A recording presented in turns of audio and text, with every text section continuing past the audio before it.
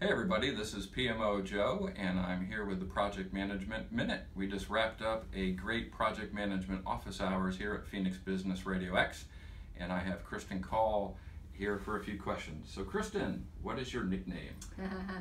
uh, no one knows this, but everyone will now. Um, so my brothers used to call me Crinkle because I had five brothers. I was the oldest daughter, but uh, out of five brothers, and I have two younger sisters. But uh, they used to love to teach, tease me, and I that was my nickname forever. Crinkle. But Crinkle. Excellent. what was your school mascot? So I grew up in a very small town, um, and my school mascot was a brave. So Okay. in, in Wyoming, we're very patriotic. All right. Who's been your most influential mentor? I have to say my dad.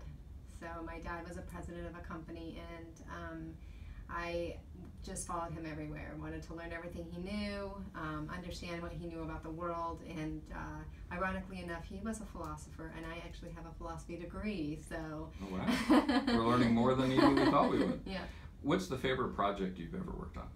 I have so many. Um, well, I, the, I have to say, there's the harder the better.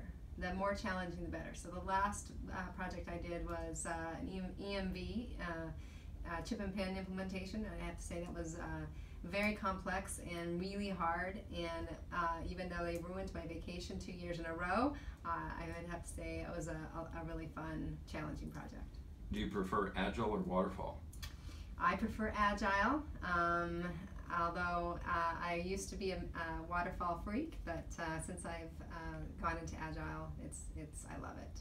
Okay. A final question: Are you a member of PMI in the local Phoenix chapter? I am not a member, but I, I do get their email.